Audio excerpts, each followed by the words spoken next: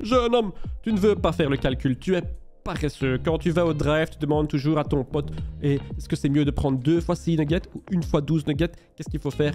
T'inquiète, je fais le calcul. On parle pas de nuggets, on parle de la Bitcoin Farm. Après, c'est aussi un peu des nuggets, hein, tu comprends un peu le 1. Mais je vais faire le calcul pour vous.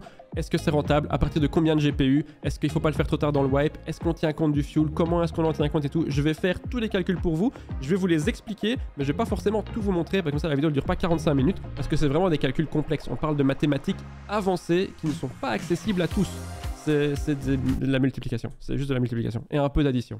Du coup, la base, la Bitcoin Farm, pour qu'elle tourne, il faut que le hideout soit allumé. Du coup, ça dépense du fuel. Le fuel, je vais pas le compter pour deux raisons. La première, c'est que comme tout votre hideout est allumé et consomme la même quantité d'énergie que vous ayez des stations qui tournent ou pas, vous allez crafter à toutes vos stations en même temps que la Bitcoin Farm génère du Bitcoin. Et du coup, ces autres stations vont déjà compenser le fuel. Même si vous ne le faites pas, le fuel, vous l'utilisez deux fois. Une fois pour la Bitcoin Farm en vidant le fuel. Et puis une fois que le fuel est vide, vous pouvez transformer les bidons vides en grenade case ou en magazine case. Que vous allez vendre pour grosso modo le prix du fuel. Donc rien que là, le fuel est déjà remboursé. En plus d'avoir la Bitcoin Farm et les autres stations. Donc on va pas en tenir compte, même si réellement vous avez déjà un bénéfice ici. À côté de ça, vous avez le hideout management. Pareil, on va pas en tenir compte, alors que lui-même va réduire la consommation de fuel de l'heure. Et du coup, quelqu'un qui a hideout management niveau 0 son fuel va tenir, j'invente les chiffres parce que maintenant je les ai plus en tête, 21 heures avec un bidon gris. S'il a le hideout management au max, c'est peut-être plus proche de 29 heures. Donc pareil, là aussi il y a des gains. Mais on en tient par contre, full pessimiste. Au niveau de prix que moi j'ai utilisé, je prends des exemples pour la carte graphique, en ce moment elle est à 420K. Dans mes calculs, j'ai plutôt mis proche de 500K. Donc j'ai compté que vous achetiez les premières à 480K et que les dernières étaient achetées à 500K.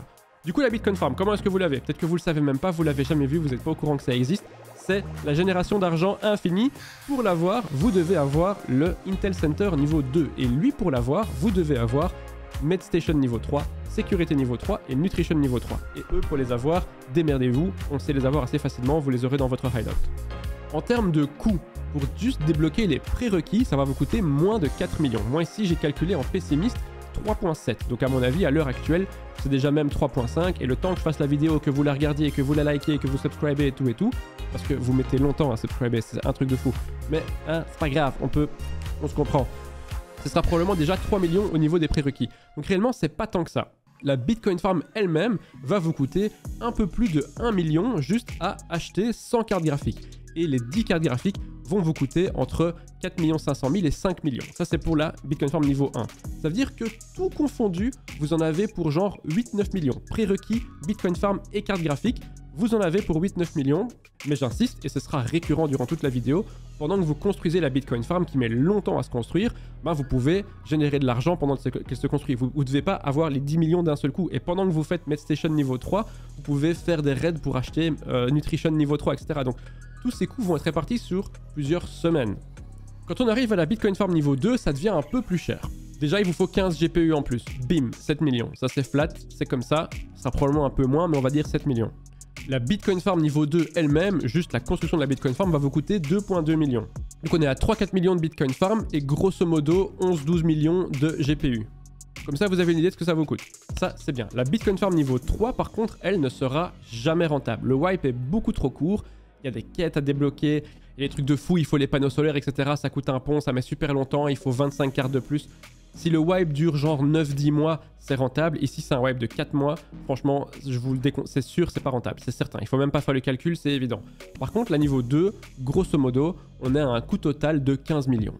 Maintenant, combien est-ce qu'elle génère cette Bitcoin Farm? Combien d'argent vous allez recevoir chaque seconde? Et eh bien ça, je vous le dis dans ma masterclass, vous pouvez vous inscrire, il y a un lien en dessous, c'est 40 euros par mois et je vous donne toutes les infos. Non, c'est pas vrai, c'est pas vrai.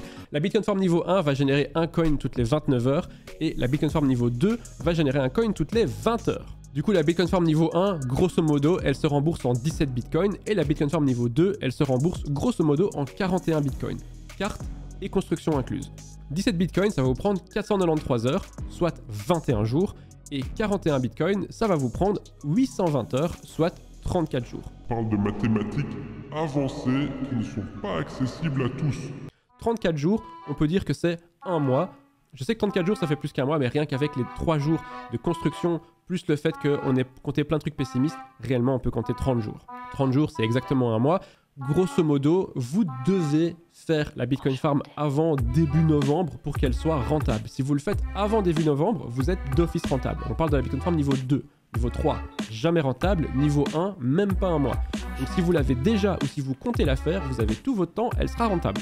Donc retenez ça, tant que vous la construisez avant le mois de novembre, vous êtes gold. Et les gens gold, qu'est-ce qu'ils font? Ils s'abonnent et ils like. Et c'est super important parce que maintenant, YouTube, ça devient mon métier. Et du coup, ma Bitcoin Farm, c'est un peu vous. C'est vous le fuel de ma vie. C'est vous qui alimentez mon amour pour Escape from Tarkov et les jeux vidéo et l'envie de faire des vidéos. Donc voilà, j'insiste, c'est super important, encore plus que jamais. Et si la vidéo vous plaît, vous laissez un like. Si vous plaît pas, c'est pas grave, laissez un dislike, y a pas de souci. Dans tous les cas, n'oubliez pas de dire quoi en commentaire et moi je vous dis à bientôt. Ciao